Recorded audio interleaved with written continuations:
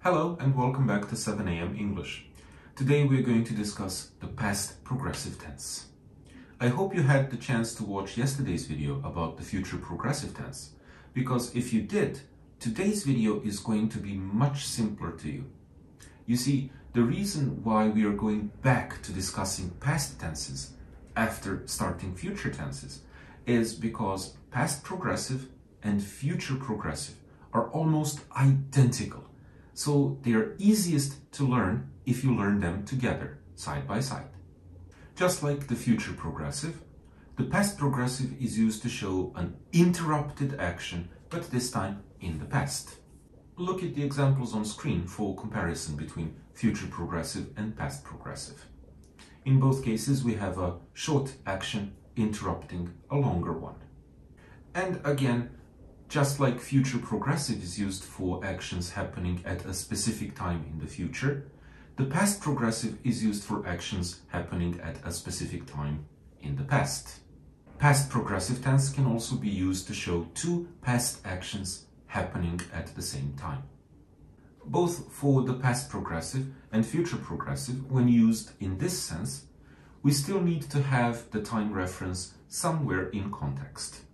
At this point, we will move on to the past progressive's special circumstances, the first of which is the difference between past progressive and past simple.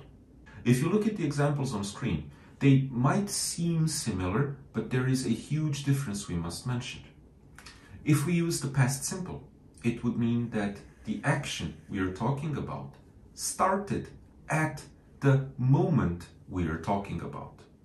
But with the past progressive, the action had started before. And at the moment we are talking about, it's already in progress. Another special use, and I'd like you to remember this one because it's very, very common in everyday spoken English, is to talk about cancelled planned actions in the past. This action we are talking about was planned, but it did not happen for whatever reason. Maybe it was cancelled or prevented, or it, it doesn't matter. But it was planned and it failed to happen. As for the passive form of past progressive, unlike other progressive forms, this passive form is actually used in real life. It's not extremely common, but we can use it when we want to give a background story about an event. Thank you very much for watching this video. I hope it was useful for you. If you have any questions about the past progressive tense, please leave them in the comments and I will reply as soon as possible. Have a very nice day and see you next time.